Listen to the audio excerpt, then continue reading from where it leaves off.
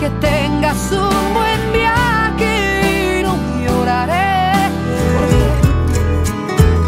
Ya ni te preocupes cómo estoy, que te preocupen las